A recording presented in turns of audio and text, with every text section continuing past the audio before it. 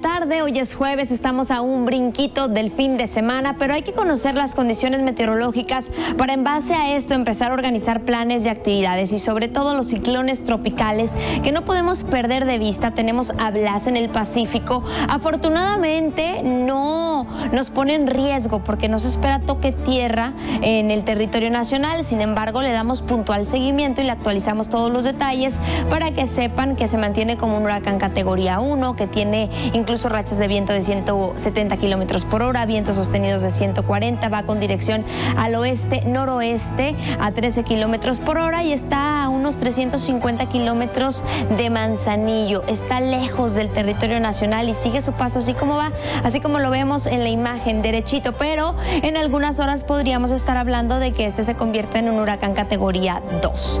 Reitero, sin eh, riesgo de que impacte México. Vamos a platicar a detalle de lo que sí tenemos nosotros en el país. En el occidente, en el centro y en el sur vamos a apreciar en la imagen satélite esta nubosidad indicándonos pues la inestabilidad aparte de nubes, chubascos y tormentas que se han reportado en esta zona. En próximas horas la posibilidad de precipitación para centro, sur, sureste de nuestro país sigue vigente y en la imagen infrarrojo es todo lo que podemos apreciar en los distintos colores que nos indican intensidad de la lluvia, desde débil, moderada a más fuerte. Y aquí lo tienen en pantalla. Y es que hay inestabilidad también en el Caribe, cabe la posibilidad